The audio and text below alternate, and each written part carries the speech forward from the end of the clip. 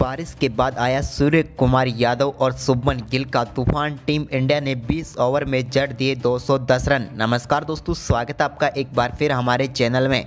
भारत और न्यूजीलैंड के बीच दूसरा वनडे मुकाबला खेला जा रहा है, जहाँ पर बारिश की वजह से इस मुकाबले को सिर्फ़ 20 ओवर का कर दिया गया। इस 20 ओवर के मुकाबले में टीम इंडिया की तरफ़ से शुभमन गिल और सूर्य कुमार यादव ने न्यूजीलैंड के बल्लेबाजों की गेंदबाजी को उदेड़ कर रख दिया है। तो इस वीडियो में दोनों बल्लेबाजों की धमाकेदार बल्लेबाजी की पूरी हाईलाइट हम आपको बताएँगे। लेकिन दोस्तों, उससे पहले आप इस सूर्य कुमार यादव को एक बेहतरीन प्लेयर मानते हैं तो इस वीडियो को लाइक ज़रूर करें और साथ ही साथ अभी तक आपने हमारे इस चैनल को सब्सक्राइब नहीं किया तो चैनल को सब्सक्राइब करके बेल आइकन ज़रूर दबा लें।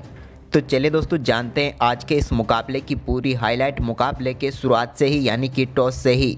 तो दोस्तों, इस मुकाबले में टॉस जीता न्यूजीलैंड के कप्तान केन विलियमसन ने और पहले गेंदबाजी का फैसला किया। टीम इंडिया को बल्लेबाजी के लिए आमंत्रित किया। भारतीय टीम की तरफ़ से पारी की शुरुआत करने उतरे कप्तान शिखर धवन और शुभमन गिल। दोनों बल्लेबाजों ने टीम को काफ़ी शानदार शुरुआत भी दिलाई। लेकिन दोस्तों, यहाँ पर शुभमन गिल के बल्ले से शुरुआती तीन चौके बेहतरीन देखने को मिले। लेकिन जब टीम का स्कोर मात्र बाईस रन था तभी आज के मुकाबले में पहली बार बारिश शुरू हुई। तब तक शुभमन गिल ने 19 रन बना लिए थे, जबकि सिक्कर धवन ने दो रन बना लिए थे और टीम इंडिया का स्कोर 22 रन हो चुका था। लेकिन यहाँ पर बारिश की वजह से मुकाबले को रोकना पड़ा और इसके बाद तो यहाँ पर टीम को काफ़ी लंबे समय तक इंतज़ार करना पड़ा, क्योंकि यहाँ पर मुकाबले में काफ़ी तेज़ बारिश होती रही। हालाँकि कभी बारिश रुकती तो कभी फिर से आ जाती, जिसके चलते मुकाबले को काफ़ी देर तक रोक कर रखना पड़ा। लेकिन दोस्तों, इसके बाद लंबे इंतज़ार के बाद एक बार फिर मुकाबला शुरू हुआ। मुकाबला शुरू हुआ तो यहाँ पर मुकाबला उनतीस उनतीस ओवर का रहा। लेकिन दोस्तों, टीम इंडिया की तरफ़ से सिक्कर धवन ने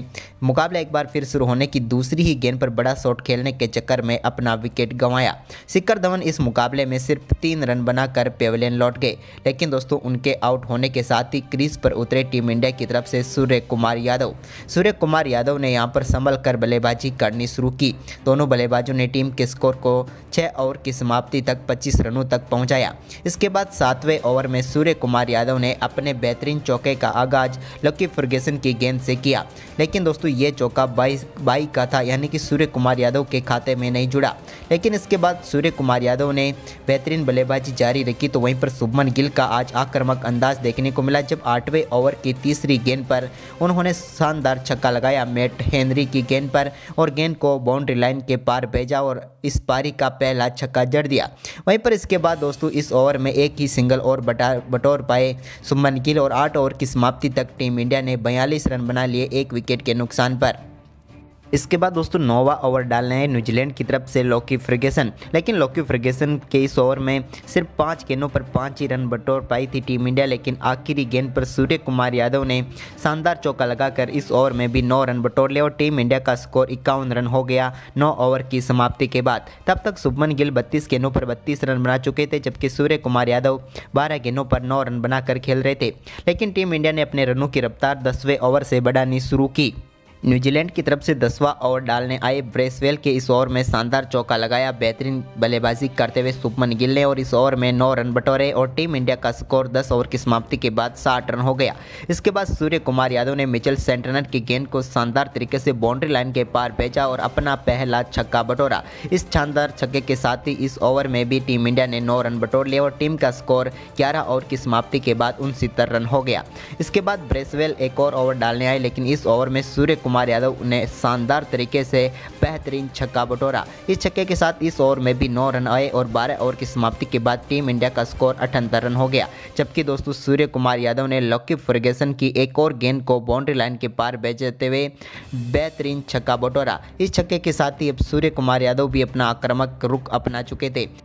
वहीं पर लकी फर्गेसन की इस ओवर की पांचवी गेंद पर सूर्य कुमार यादव ने एक और चौका जड़कर टीम इंडिया का स्कोर नवासी रनों तक पहुँचा दिया, लेकिन तभी दोस्तों एक बार फिर से बारिश काफ़ी तेज तरीके से आ गई और इस मुकाबले को रोकना पड़ा। जब दोस्तों दूसरी बार मुकाबला रुका, तब तक टीम इंडिया का स्कोर हो चुका था नवासी रन और भारतीय टीम की तरफ़ से दोनों बल्लेबाज पूरी तरह से सेट हो चुके थे। जहाँ सूर्य कुमार यादव के बल्ले से तीन बेहतरीन छक्के निकल चुके थे तो वहीं पर शुभमन गिल ने भी एक बेहतरीन छक्का बटोर लिया था और टीम इंडिया का स्कोर स्कोर नवासी रन हो चुका था, तब तक सुपमन गिल बयालीस गेंदों पर पैंतालीस रन बनाकर नाबाद थे। जबकि दोस्तों, यहाँ पर शानदार तरीके से सूर्य कुमार यादव ने भी पच्चीस गेंदों पर चौंतीस रन बना लिए। लेकिन मुकाबला काफ़ी देर तक रुका और इसके बाद एक बार फिर मुकाबला शुरू हुआ तो यहाँ पर सिर्फ़ बीस बीस ओवर का ही मुकाबला देखने को मिलने वाला था। जिनमें से दोस्तों, बारह पॉइंट पाँच ओवर का मुकाबला तो समाप्त भी हो चुका था और टीम इंडिया ने सिर्फ़ नवासी रन ही बनाए थे।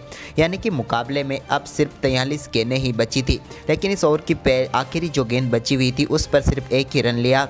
सूर्य कुमार यादव ने और ओवर को समाप्त कर दिया। लेकिन दोस्तों, इसके बाद सूर्य कुमार यादव की तूफानी बल्लेबाजी अगले ही ओवर में देखने को मिली। जब ब्रेसवेल ओवर डालने आए तो उनके इस ओवर की पहली गेंद पर उन्होंने शानदार छक्का बटोरा। तो वहीं पर दूसरी गेंद पर बेहतरीन चौका और तीसरी गेंद पर एक बार फिर छक्का लगाकर इस ओवर की तीन गेंदों पर सोलह रन बटोर लिया और टीम इंडिया का स्कोर भी सौ रनों के पार पहुँच गया। जबकि दोस्तों, इसी ओवर के आखिरी गेंद पर सूर्य कुमार यादव ने एक और शानदार छक्का जड़ दिया। तो वहीं पर इसका अगला ओवर डालने आए लक्की फर्गेसन के ओवर में सुपन गिल ने भी कमाल की बल्लेबाजी की। सूर्य कुमार यादव के साथ मिलकर और दोनों बल्लेबाजों ने शानदार बल्लेबाजी करते हुए इस ओवर में भी सोलह रन बटोर लिए।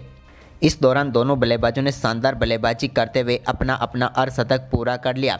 लेकिन अर्धशतक के बाद सूर्य कुमार यादव का बल्ला कुछ अलग ही तरीके से चलता हुआ नज़र आया। एक समय तक टीम इंडिया जहाँ सिर्फ़ नब्बे रन ही बना पाई थी तेरह ओवर की समाप्ति के बाद लेकिन अगले चार ओवर में टीम इंडिया ने शानदार परफॉर्मेंस करते हुए 60 रन बटोर लिए और टीम इंडिया का स्कोर पहुँच गया 150 रनों तक। लेकिन दोस्तों, इसमें सबसे बेहतरीन भूमिका सूर्य कुमार यादव की रही, लेकिन इसके बाद सत्रहवें ओवर में कमाल की बल्लेबाजी की, यहाँ पर शानदार बल्लेबाजी करते हुए शुभमन गिल ने भी। इस ओवर में उनके बल्ले से भी दो बड़े छक्के देखने को मिले। इनके इन दो छक्कों की बदौलत टीम इंडिया का स्कोर एक रनों तक पहुँच गया।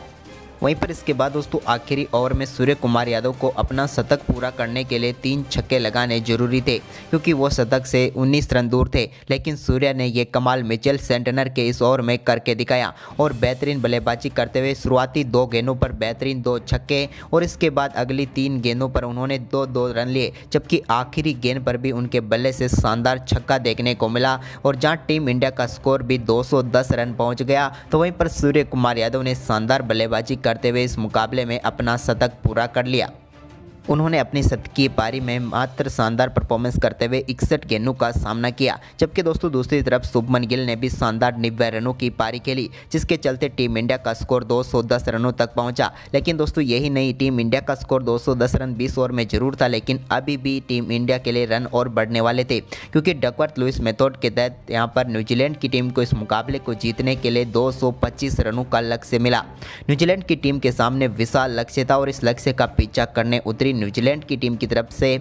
पारी की शुरुआत करने उतरे डेविन कॉनवे और फिन एलन। लेकिन दोस्तों, आज के मुकाबले में टीम इंडिया की गेंदबाजी काफ़ी दमदार रही, जहाँ पर पहले ओवर में शानदार गेंदबाजी करते हुए फिन एलन को पेविलियन भेजा। अर्शदीप सिंह ने, ऋषभ पंत ने उनका काफ़ी शानदार कैच पकड़ा और भारतीय टीम को पहली सफलता पहले ही ओवर में लग गई।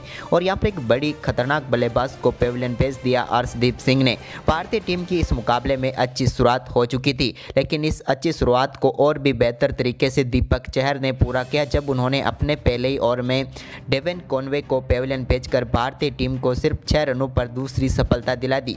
इसके बाद तो भारतीय गेंदबाजों ने इस मुकाबले पर धीरे धीरे से अपना सिकंजा कसना शुरू कर दिया। और दोस्तों, यहाँ पर डेरियल मिचेल, जो कि इस मुकाबले में नंबर तीन पर उन्हें बल्लेबाजी करने के लिए भेजा गया, लेकिन वो शिकार बने उमरान मलिक का। उमरान मलिक ने उन्हें एलबीडब्ल्यू आउट करके भारतीय टीम को तीसरी सफलता दिला दी तीसरे ही ओवर में। यानी कि तीन गेंदबाजों ने तीन और डाले और भारतीय टीम को तीन सफलताएँ मिल गई।